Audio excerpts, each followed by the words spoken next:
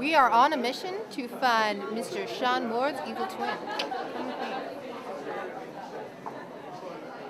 Hmm. That's his grandma. May she rest in peace.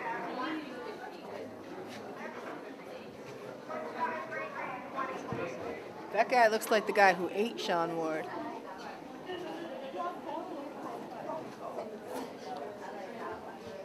I think that's a terrorist.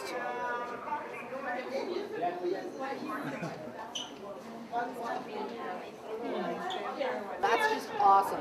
You know, um, you know this whole art thing?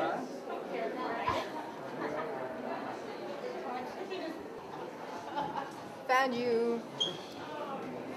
It's your doppelganger. It's it's just uncanny. It's it's scary how much that looks like Sean.